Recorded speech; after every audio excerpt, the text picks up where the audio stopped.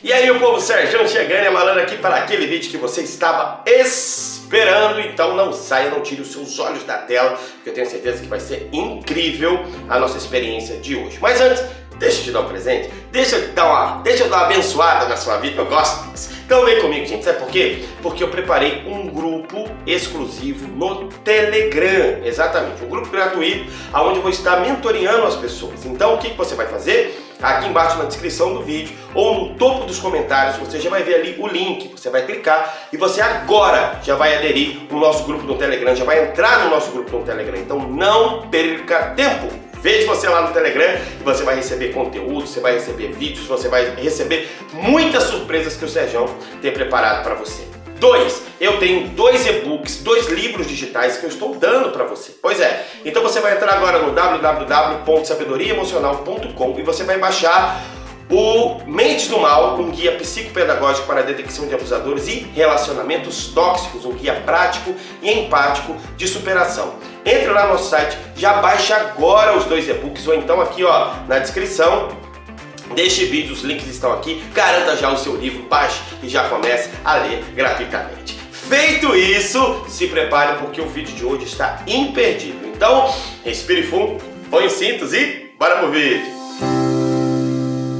Antes de começar este vídeo, eu tenho que realmente pedir algo para vocês. Pessoal, olha só. Já deixa o seu gostei, já compartilha esse vídeo, deixa aqui embaixo o seu comentário se esse é o seu caso, beleza? Aciona o sininho do nosso canal e mais. Dá um pulinho lá no nosso Instagram, no nosso Facebook, já nos segue lá, já curte lá também, porque lá nós temos muitos conteúdos exclusivos para você. Conto com o seu apoio aí no nosso canal. Fechado? Vamos embora então. Gente, vamos falar um pouquinho de medo. Olha só, o medo ele é uma condição congênita, intrínseca em todo ser humano.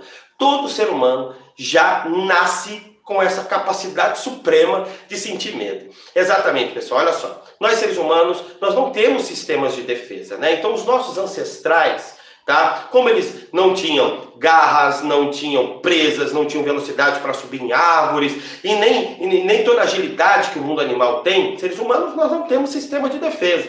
Então, o nosso cérebro aprendeu a capacidade de sentir medo, de se proteger ou também de lutar. E por isso, os seres humanos desenvolveram essa parte do cérebro chamada córtex pré-frontal, que traz a racionalidade. Então, o homem foi, teve que criar os seus próprios sistemas de defesa, arco e flecha, as lanças e tudo mais para poder sobreviver. Bom, você não é diferente dos nossos ancestrais. Você sente medo como qualquer pessoa sente. Você só chegou aqui porque você desenvolveu a capacidade de sentir medo. Então você para para atravessar a rua, olha para os dois lados, olha para o semáforo, você vai dirigir, você toma certos cuidados, você precisa ver se a comida está na validade e por aí vai. Esse sistema de proteção que garantiu a sua vida até aqui. Então o medo ele é necessário para a sobrevivência do ser humano. Só que muitas vezes nós somos colocados numa situação da qual você não tem controle sobre o medo. Você acaba sendo tomado completamente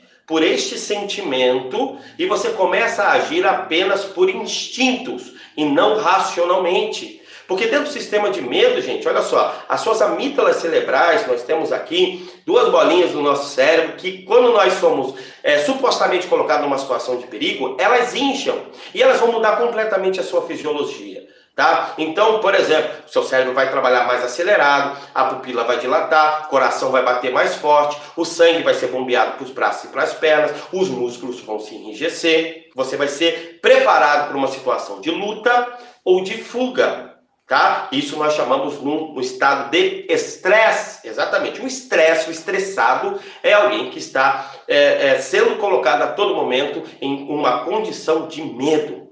Pois é, então, relacionamentos abusivos vão ser construídos em cima deste patamar, deste pilar. Você será colocado a todo momento em situações de estresse. Você vai ser colocado a todo momento em situações de medo.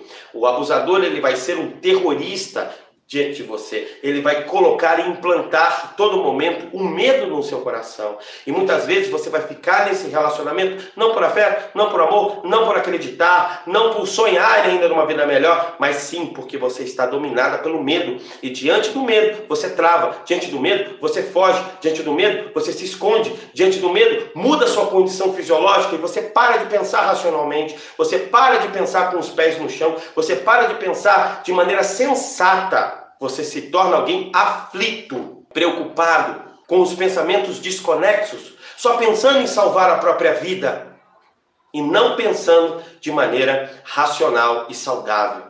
Então, este vídeo é para que você volte à sua condição racional e saudável, para que você aprenda a dominar os seus medos, para que assim você tenha força para quebrar esse ciclo abusivo. Porque se você não quebrar o ciclo do medo, simplesmente você não consegue quebrar o ciclo abusivo dentro do relacionamento. Vocês estão entendendo? Porque ele sempre vai colocar monstros diante de você. Porque ele sempre vai colocar é, é, é, demônios diante de você. Ele sempre vai colocar diante de você situações que vai fazer você acreditar que você não pode vencer. E você pode vencer. Ok? Então eu separei pelo menos três medos que os abusadores vão trabalhar na sua mente para que você fique preso ao relacionamento abusivo. O primeiro medo é o medo da exposição pública. Todos nós temos medo da, da, da, exposição pública. Temos medo de falar em público, temos medo da nossa vida ser enxovalhada por todo mundo. Né? Um grande medo do, do, ser humano é justamente o medo da exposição pública. Tanto que antigamente né, o, o a, a pessoa que cometia um crime ela tinha que pagar por esse crime em praça pública. Lembra do Tiradentes que foi enforcado lá no meio da praça, no meio de todo mundo? Pois é, gente, sabe? As pessoas têm medo da exposição pública. Você tem medo da exposição pública. E o abusador vai chegar para você e vai falar assim: Tá. Olha, o que vão falar de você? Você já foi casada duas, três vezes. Eu já sou o seu segundo, terceiro marido ou namorado, sei lá. Vão falar que você fica com todo mundo. Vão falar que você tem um dedo podre. Vão falar que você não presta. Olha, vão começar a falar de você na vizinhança, falar de você na igreja. Ninguém vai acreditar em você. As pessoas estão aí já comentando sobre você. Esse é, é bom falar, vou falar da sua vida para todo mundo. Ele vai criar esse medo da exposição pública.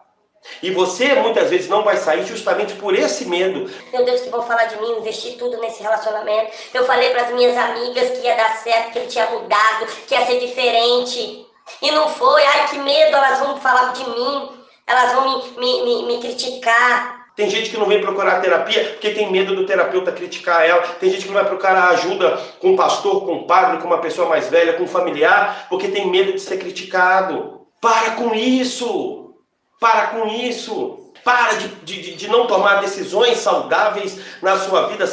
Salve a sua vida, não se importe com o que as pessoas vão pensar. Se você estiver dentro de um barco, o barco estiver afundando, você não vai se agarrar na primeira coisa que aparece lá. Tu vai querer nadar de qualquer jeito, você não vai ficar preocupado se você está nadando corretamente, de peito, assim como você aprendeu. Não, você vai nadar de qualquer jeito, você quer salvar a sua vida. Relacionamento abusivo é a mesma coisa. Não tenha medo da exposição pública. Não tenha medo, ah, ele vai me difamar na internet. Para com esse medo. Para medo, tá? Ninguém vai parar a vida por causa de você, não. Ninguém vai parar a vida para ficar falando mal de você, não. As pessoas vão olhar lá, vão rir e vão seguir a vida delas, tá? Porque a gente não é tão importante quanto a gente imagina, não. Mas cria-se um monstro. Cria-se um monstro.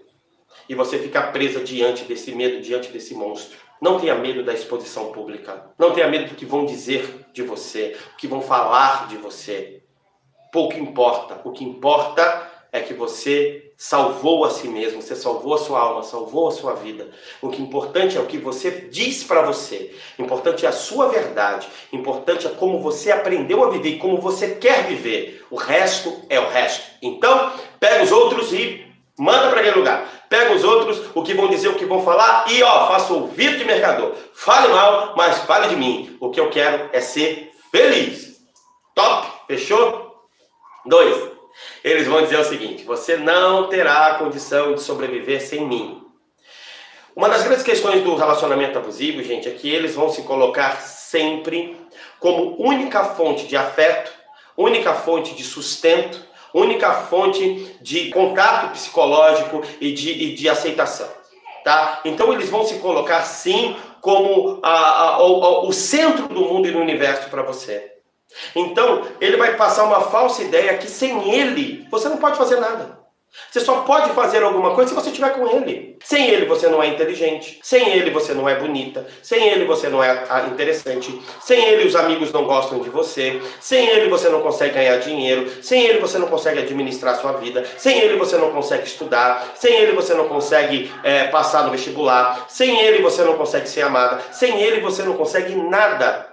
Ele vai se colocar como centro do mundo. Você não pode fazer nada sem mim. Você só é alguma coisa se eu estiver na sua vida. E muitas vezes você acredita e você olha para a realidade, o bichinho não contribui em nada. Não contribui com seus estudos, não contribui com a sua vida financeira, não contribui com nada. O que ele sabe é falar e invalidar você. Isso nós chamamos de processo de invalidação, quando ele tira de você a sua capacidade de acreditar em você. E você passa a acreditar que só existe vida se o traste estiver do teu lado. Só existe vida se a morte está do teu lado. Só existe alegria se a tristeza estiver do seu lado. Só existe felicidade se a infelicidade está do seu lado. Isto é mentira. Não tenha medo disto. Não tenha medo, porque você pode, porque você é capaz. É só você olhar para a sua vida antes desse relacionamento e você vai ver tanta coisa legal que você já fez nessa vida. Então, o que ele está dizendo para você é um medo inconsciente para travar, prender e invalidar você. Fazer você não se sentir capaz, fazer você não se sentir plena, não se sentir capacitada para realizar. Isto não é verdade, porque a capacidade está dentro de você. Então, quebra este medo de que sem mim você não pode fazer nada. E o último medo, que é o clássico medo, é ninguém vai te querer se você me deixar. Ninguém vai te querer, sabe por quê? Porque você já tem dois filhos. Ninguém quer mulher com filho. Porque você já casou duas vezes e ninguém quer mulher divorciada. Porque você está gorda. Porque você está feia. Porque você é horrível. Eu sou a única pessoa desse mundo que ainda tem estômago para ficar com você. Isso é mentira. Mentira. É claro que, que, que, isso não é verdade. Ninguém fica com quem é ruim se ele está ficando contigo porque ele está vendo alguma coisa boa em você. Não é verdade? Ninguém fica com, com quem é ruim. Ninguém. Ainda mais esse tipo de gente, né, pessoal? Não vai ficar por dó de você, não vai ficar por pena de você. Tá, tá ficando porque tá vendo alguma coisa boa aí desse lado. Tá, é porque você ainda está dando um caldão. Entendeu? Então ele precisa, ele precisa criar essa imagem que sem ele você será solitária, sem ele você será sozinha, sem ele você vai morrer velha, sem ele você vai morrer sem ninguém, sem ele os seus filhos não vão te querer, porque se ele te abandonar, ninguém mais vai te amar. Isto não é verdade. Não é verdade.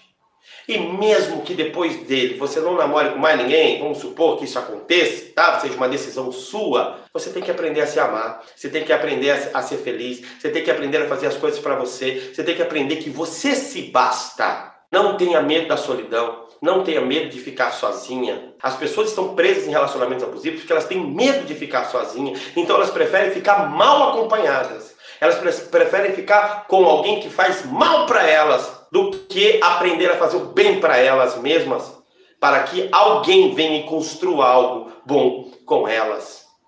É claro que se você se cuidar, se você ficar bem, se você tratar suas emoções, se você tratar os seus traumas, se você limpar o seu coração, se você cuidar da sua saúde, se você cuidar da sua psique, se você cuidar da sua vida financeira, se você estiver bem plena, é óbvio que vai aparecer alguém legal para você, porque as pessoas são tudo menos bobas, né, gente? Se você é ruinzinha desse jeito, já tem gente que quer, se você ainda com problema emocional, se você é triste, se você é ruim, se você ainda é sentindo muitas dificuldades aí na sua vida, tem gente que quer, imagina ser bem, ser plena. Não vai aparecer um cara bacana aí, uma moça bacana aí para você. Então não se iluda. Sem ele, a vida começa. Sem ele, as coisas ficam melhores. Sem ele, desentope as suas artérias emocionais, desentope as suas artérias, artérias energéticas e você vai conseguir atrair algo melhor. Com eles, você só atrai o que eles atraem. Sem eles, vocês atraem aquilo que vocês merecem. Então, não caia neste medo, não seja dominada por este medo. Combinado? Então fica aí o meu recado para que vocês possam realmente agora ressignificar a vida de vocês. Eu quero fazer um convite para vocês que é realmente ressignificar todos esses medos que foram implantados no seu coração. Entre em contato agora comigo no 19 9 8840-5607. Marca sua sessão de terapia online comigo, Sérgio Lima, e eu quero ajudar você. E mais, gente, olha só, olha aqui, ó, o nosso livro Viva, Vença Relacionamentos Tóxicos, esse livro que vai levar você, sim, uma, uma, um forte impacto para que você reprograme a sua mente. Então, não deixe de adquirir o nosso livro, o link está aqui embaixo e vejo você também lá no Telegram. Não deixe também de deixar aqui, ó, ó, o seu comentário, beleza? Até o próximo vídeo. Show medo, hein? Faz prosperidade.